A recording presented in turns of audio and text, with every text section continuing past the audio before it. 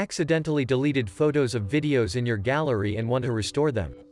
You can easily restore them from your trash. This method works with Galaxy S21, S20 and any Samsung phone with Android 11. I am going to delete some images from the gallery. Once deleted the images will be stored within the recycling bin for 30 days. If you want to restore the photos or videos simply tap on More button. Select Trash. Tap on a photo or video you would like to restore back to your gallery. Tap Restore button to restore the file. If you would like to restore multiple photos or videos, long press an image to select and choose other files. Once you have selected the images or videos tap on Restore.